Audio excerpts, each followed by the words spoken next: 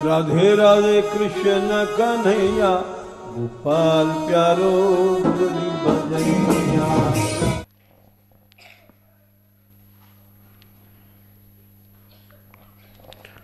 श्री कृष्ण लीलाएँ।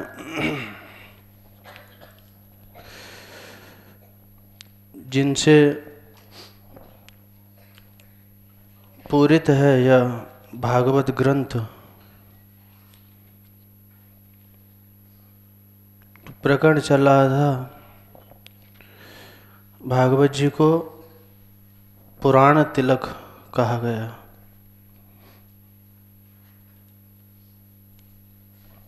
समस्त पुराणों में यह श्रेष्ठ है।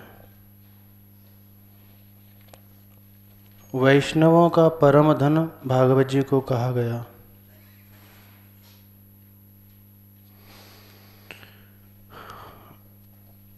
यद वैष्णवानाम परमम धनम महात्म्य में छठवें अध्याय में बयासीवा श्लोक आता है।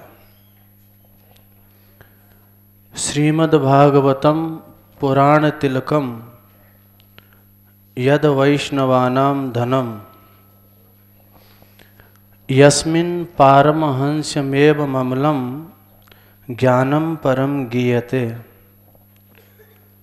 यत्र ज्ञान विराग भक्ति सहितम नैष्कर्म्यमाविष्कृतम तच्छृण्वन् प्रपठन विचारण परो भक्त्या विमुच्य नरः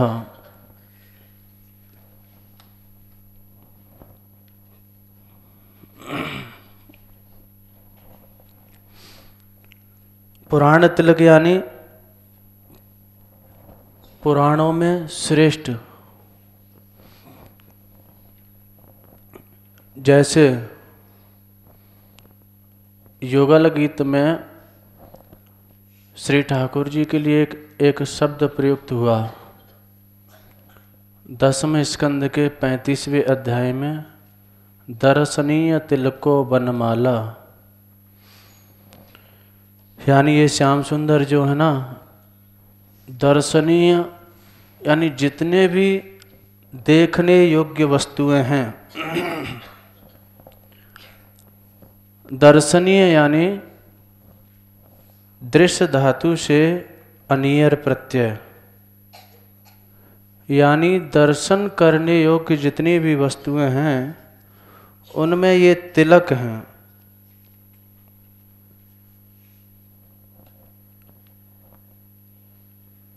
दसवें स्कंद के पैंतीसवें अध्याय में दसवा श्लोक। दर्शनीय तिलको बनमाला दिव्य गंध तुलसी मधुमत्तई ही तो दर्शनीय तिलक का अर्थ संतों ने किया दर्शनीय यानी जितने भी दर्शन करने योग्य, देखने योग्य इस चराचर जगत में संपूर्ण ब्रह्मांड में जितनी भी वस्तुएँ हैं, जितने भी पदार्थ हैं, जितनी भी रूप राशियाँ हैं, उनमें तिलक तिलक यानी श्रेष्ठ, सर्वोत्तम। जहाँ जिसको रूप की परावधि कह सकते हैं, उससे आगे और कुछ दर्शनीय है ही नहीं। इसलिए गोपियों ने कहा था वेणु गीत में, अक्षण बताम फलविनम न परम विदाम, सख्य पशु ननु विवेशयतोर वयस्य ही वक्त्रम ब्रजेश सुतयोरनवेणुजिष्टम यैर्वा निपीत मन रक्त कटाक्ष मोक्षम।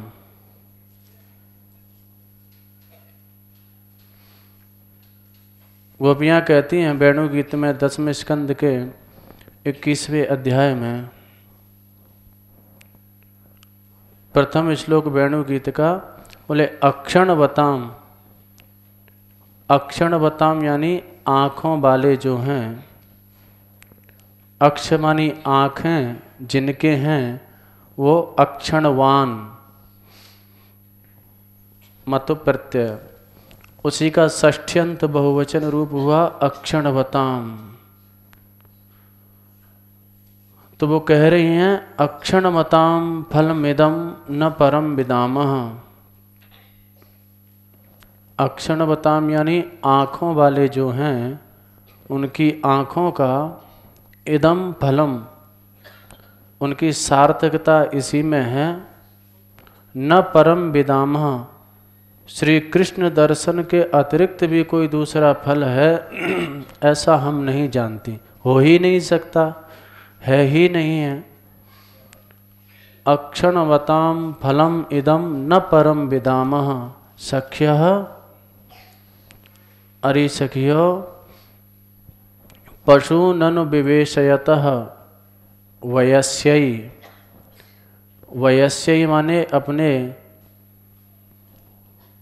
सखाओं के साथ में पशुन अनु पशु यानी गायों के अनुमाने पीछे पीछे।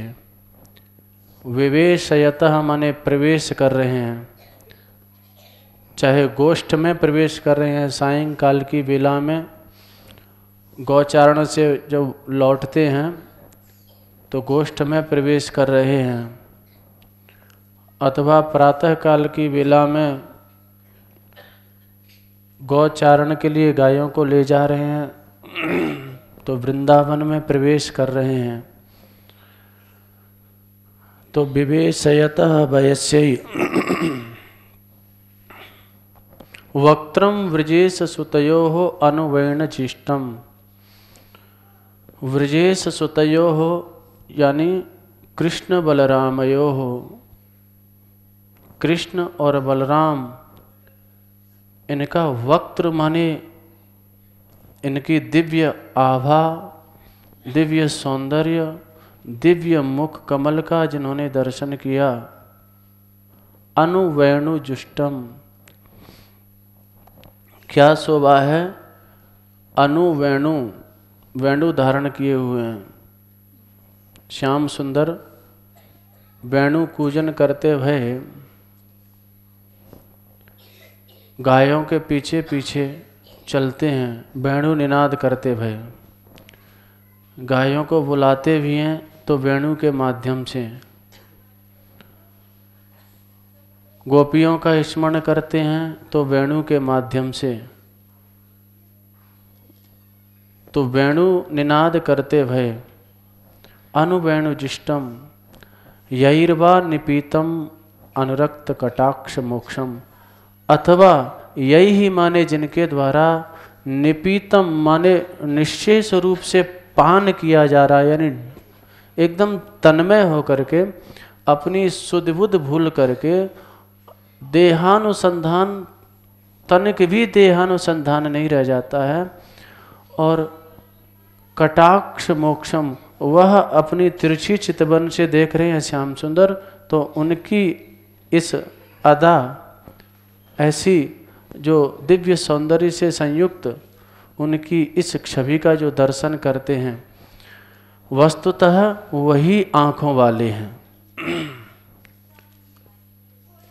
वही उन्हीं के नेत्र धन्य हैं, उन्हीं की आँखें धन्य हैं। अक्षण वताम फलम विदम ब्रजेश सुतयो का अर्थ यद्यपि आचार्यों ने श्री राधा माधव यह अर्थ भी किया है। जीव गोस्वामी जी लिखते हैं, व्रजेश नंद ब्रजेश यानी नंद बाबा और ब्रजेश वृषभानु वृषभानु बाबा। तो व्रजेश सुतश्च ब्रजेश सुताश्च ब्रजेश सुतः माने श्याम सुंदर।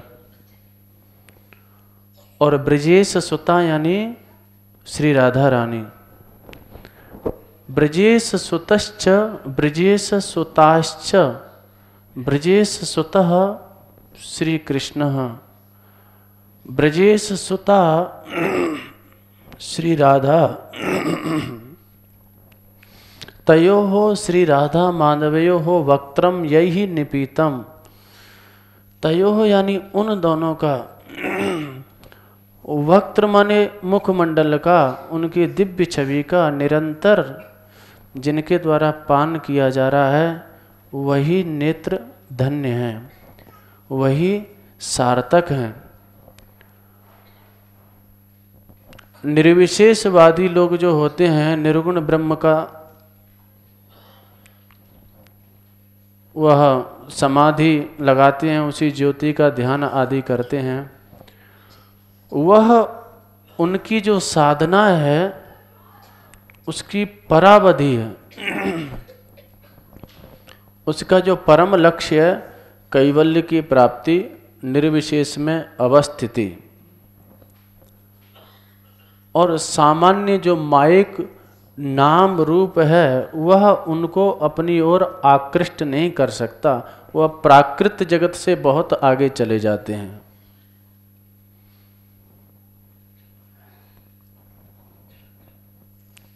जैसे कि, लेकिन यह रूप जो गोपियाँ वर्णन कर रही हैं, क्योंकि दर्शनीय तिलक हैं, यह रूप ऐसा है कि जिन्होंने जो एकदम निर्विशेष की परावधि पर पहुँच गए, सामान्य नाम रूप जिनको अपनी आकृष्ट नहीं कर सकते, उनके भी मन को, उनके भी चित्त को बलात् अपनी ओर खींच लेता है। इसलिए कहा, दर्शनीय तिलक। एक बहुत बड़े विद्वान हुए काशी में, श्री मधुसूदन सरस्वती पाद जी। अपने समय के बड़े धुरंधर विद्वान। यहाँ तक कि गोसाई जी ने जो रामचरित मानस लिखी तो चूँकि वह हिंदी भाषा में लिखी तो काशी के जो धुरंधर विद्वान थे, वह उसको रामचरित मानस जी को प्रामाणिकता नहीं दे रहे थे। कि ये तो हिंदी का ग्रंथ है, ऐसे ही कवि की कल्पना भी हो सकती है। और गुसाई जी की बढ़ती हुई प्रतिष्ठा से कुछ उनके मन में ईर्ष्या आदि भी उत्पन्न हो गई। तो लेकिन मानस की दिनों दिन प्रतिष्ठा बढ़ती जा रही थी। तो सभी विद्वानों ने निर्णय किया कि मधुसूदन सरस्वती जी बड़े धुरंधर विद्वान हैं। भक्ति और ज्ञान दोनों का समन्वय मधुसूदन सरस्वती जी ने किया। ज्ञान का जो सबसे बड़ा ग्रंथ अद्वैत सिद्धि लिख करके उन्होंने अपनी ज्ञान में पारंगता, निपुणता बताई। अद्वैत सिद्धि बड़े बड़े वेदांती लोग उसको पढ़ते हैं, जो अद्वैत मार्ग के अवलंबी हैं। और भक्ति मार्ग में जब वह आए तो उन्होंने भक्ति रसायन छोटा सा ग्रंथ है, लेकिन बड़ा ज़बरदस्त ग्रंथ है। तो काशी के विद्वानों ने विचार किया कि मधुसूदन सरस्वती जी बहुत बड़े विद्वान हैं। वह यदि प्रामाणिकता दे दें तो हम रामचरित मानस को अंगीकार कर सकते हैं। और उनको यह विश्वास था कि मधुसूदन सरस्वती जी तो संस्कृत के प्रकांड विद्वान हैं, वह भला इस हिंदी के ग्रंथ को प्रामाणिकता क्यों देंगे? तो सबरे पंडित, सबरे विद्वान मिलके उनके समीप में गए। गोसाई जी ने भी सहज में स्वीकार कर लिया और रामचरित्र मानस उनके समक्ष ले जाया गया। उन्होंने पढ़ा तो बड़े गदगद हुए, क्योंकि वह भक्ति की महिमा को जानते थे। उन्होंने कहा, देखो जी, ये जो जंगमस तुलसी तरु, ये तुलसीदास जी है ना यह चलते फिरते तुलसी के पौधा हैं और उसकी मंजरी जो है, वह यह मानस है। और राम भ्रमर और इस मंजरी के लोलोप, यानी लोभी, यानी भगवान जो हैं, वह भ्रमर हैं। तो बार बार इस मंजरी के समीप में, यानी इस मंजरी को छोड़ नहीं सकते। यानी रामचरित मानस में भगवान ही प्रतिष्ठित हैं। वो भगवान का ही स्वरूप है। ऐसी प्रामाणिकता उन्होंने दी। तो फिर सभी विद्वानों को मानना पड़ा। और उनके अनेक ग्रंथ, यहाँ तक कि गीता पे आप देखेंगे, गूढ़ार्थ दीपिका उनकी टीका है। इतनी दार्शनिकी टीका है वो कि उसका सामान्य हिंदी अर्थ भी ठीक से समझ में नहीं आ पाता। इतनी उनकी, उससे पता चलता है कितने प्रतिभावान थे, कितने बड़े विद्वान महापुरुष थे। लेकिन भूलते हुए वृंदावन आए गए एक बार। काशी में अपने रहते, खूब चेला चेलिए, खूब शिष्य पढ़कर आता था, पढ़ने के लिए अध्यापन कराते थे। उन्होंने अपना परिचय दिया। अद्वैत वीथि पथिकई रूपास्य अद्वैत मार्ग के जो पथिक हैं, जो अवलंबी हैं, वो हमारी उपासना करते हैं। जितने भी उस समय अद्वैत मार्गी थे, वह श्री मधुसूदन सरस्वती जी से पढ़ने जाते थे, उपासना के रहस्य जानने जाते थे। गलती भई कि वृंदावन चले आए। और वृंदावन में संयोग से केसी घाट पे बैठ गए। अब केसी घाट पे बैठ के जमुना जी की विशाल लहरें एकदम स्वच्छ जल प्रवाह प्रवाहित हो रहा है और अपनी ब्रह्म ज्योति का ध्यान करवे लग गए। पर चक्कर पड़ गयो, यहाँ तो ब्रह्म ज्योति को ध्यान करें तो वो नील ज्योति सामने आएगी, श्याम सुंदर सामने एक बालक को रूप बनाए के आएगी। और जैसे ही श्याम सुंदर के रूप को देखा, मधुसूदन सरस्वती जी ने सोई बावरे है गए। बोले, अरे, ये बालक, चलो, कोई होगा, यहीं का कोई बालक होगा। फिर ध्यान लगाते हैं तो अब तो ध्यान ही ना लगे। तब श्री मधुसूदन सरस्वती जी यहाँ से वावरे से है के मतलब उस रूप, दर्शनीय तिलक, जो दर्शनीय तिलक रूप कहा ना गोपियों ने, उस रूप को देख करके इतने बावरे है गए कि तन की सुदबुदहू भूल गए। इसलिए नारायण स्वामी जी ने कहा, चाहे तू योग कर, भ्रकुटी मध्य ध्यान धर चाहे नाम रूप मिथ्या जान के निहार ले। जोलो तो ये नंद को कुमार नहीं दृष्टि पड़ो दोनों तू बैठ के भले ही ब्रह्म को विचार ले। चाहे तू योग कर, चाहे योग कर ले, चाहे भ्रुकुटी बंद करके ध्यान कर ले, चाहे नाम रूप से रहित मैं वही आत्म सत्ता का अपनी का अनुभव कर ले जोलो तो ही नंद को कुमार नहीं, दृष्टि पड़ो दोनों तू बैठ के भले ही ब्रह्म को विचार ले। वाकई बाद में ब्रह्म विचार ना है पावे गो अब ये तो बाबरे से है गए। काशी में पहुँचे तो वही उस रूप के दीवाने, मस्ताने